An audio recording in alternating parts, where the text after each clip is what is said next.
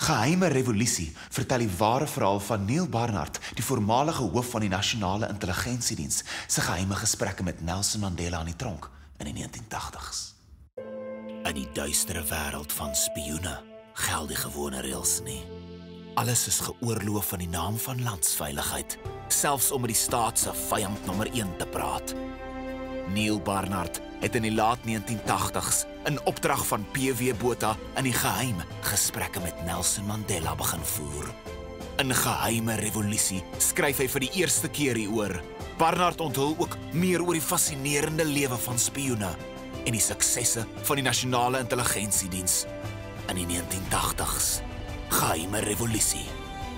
Nou beskikbaar.